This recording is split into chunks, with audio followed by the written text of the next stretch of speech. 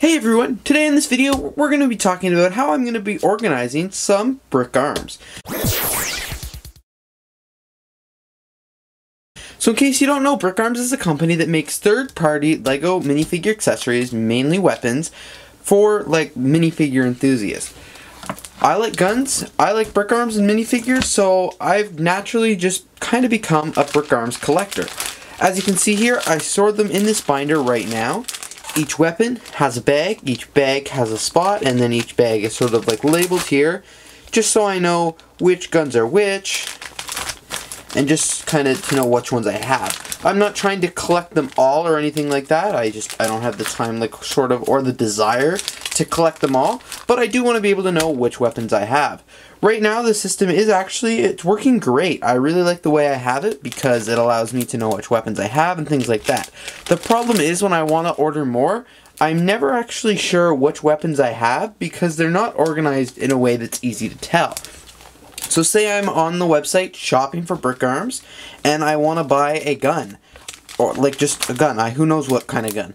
I have to go through every single page to know if I have that gun or not. I may have it, I may not, and you know, I have a couple hundred here, so it's hard to remember exactly which ones I do and which ones I do not have. And then I'm going to organize them.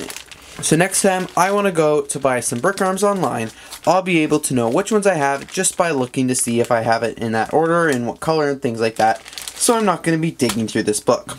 So I'm going to take you along through that entire process with my camera. The first thing I'm going to be doing is going through this entire book and I'm going to be picking out all the weapons that aren't labeled. So as you can see, there's one right here. So I'm going to take it and I'm just going to set it to the side there. And just keep making sure I go through this entire book, anything that's not labeled. Just going through and making sure that I'm not missing any because I want to get all of them labeled so I know what everything is. So I have everything saved as you see here. I have my Brick Lover 18 USB stick as well as my iPad. And what my iPad's going to do right now is that I've kind of narrowed it down. I have everything I need to have labeled.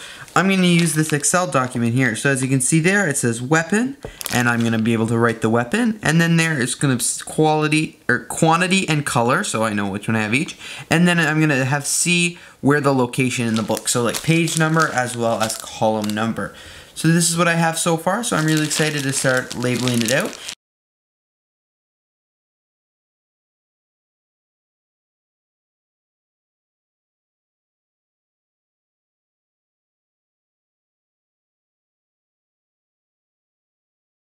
Alright, so I've now done two pages of the brick arms and this is what it looks like.